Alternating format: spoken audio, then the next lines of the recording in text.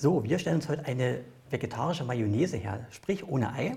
Hat den riesen Vorteil, dass man die Mayonnaise ca. drei bis vier Wochen im Kühlschrank in einem Schraubglas ähm, aufbewahren kann, was ja bei der frischen Mayonnaise nicht der Fall ist.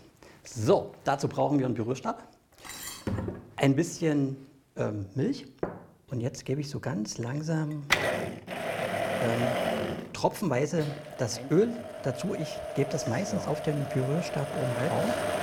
Durch den Pürierstab ähm, unten lassen, jetzt nicht irgendwie nach oben und unten bewegen, weil wir wollen ja keinen Schaum haben, sondern wollen ja eine schöne Emulsion haben. So, und die kann man dann tatsächlich auch hören, dass die dann irgendwann beginnt dick zu werden. So, oh, jetzt haben wir quasi so eine Emulsion, quasi das, die Milch und das Fett haben sich miteinander verbunden und das schmeckt jetzt überhaupt nicht. Das schmeckt wirklich überhaupt nicht. Also jetzt müssen wirklich Gewürze hier rein. Ähm, wir müssen ein bisschen Pfeffer reinmachen, dann auch anständig Salz rein. Und dann für die Farbe. Und ein bisschen für den Geschmack, Löffel hatte ich schon drin, ähm, geben wir hier so ein bisschen Senf dazu. Und noch eine Prise Zucker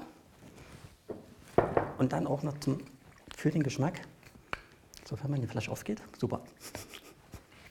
ähm, geben wir so einen kleinen Schluck Essig dazu. Ich habe jetzt einen Kräuteressig dazu genommen. So, und dann berühren wir uns das hier schön. Und dann haben wir so eine richtig schöne Mayonnaise. Und wenn man das niemandem verrät, dass man die ohne Ei hergestellt hat, merkt man eigentlich fast keinen Unterschied. Also das ist wirklich eine schöne Geschichte. Die Zutaten sind meistens zu Hause, kann man schnell eine Mayonnaise machen. Braucht man nicht dieses ähm, fertige Zeug aus dem Glas nehmen, was uns da die Industrie vorgaukelt, sondern hat aus frischen Zutaten mh, eine mega Mayonnaise. Die Kinder werden sie lieben. Zu Pommes, die Mayonnaise, die essen nie wieder andere Mayonnaise. So, und diese Mayonnaise nehmen wir natürlich heute für unser Pullet Bananensandwich. Alle Gastgeber und Rezepte unter www.topfgucker-tv.de